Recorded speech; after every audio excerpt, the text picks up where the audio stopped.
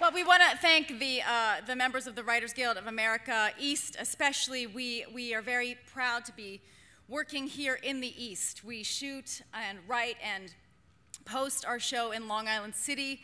Uh, we spend 12, 14, 15 hours a day in Long Island City. Um, I don't know if you've ever been to Long Island City. It truly is the meatus of the five boroughs.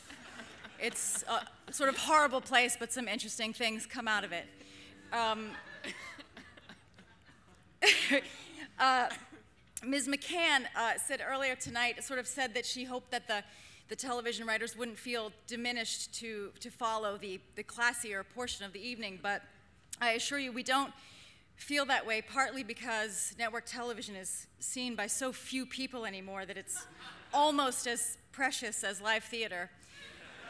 and also because this staff, this band of miscreants and nerds and gay people um, takes their job as seriously and works as hard as any writer in any medium. And if you don't believe me, I will videotape it the next time Robert Carlock and I argue for 20 minutes about whether or not to put a period inside a quotation mark or outside of a quotation mark.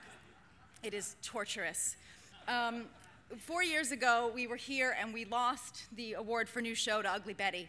And now we uh, lament the loss of our neighbors in Long Island City, Ugly Betty. And we were never supposed to survive four years ago. And at this point, four years in, I feel like we realize that um, our special moment uh, may not last forever. So we're very grateful to have had this time, and thank you very much.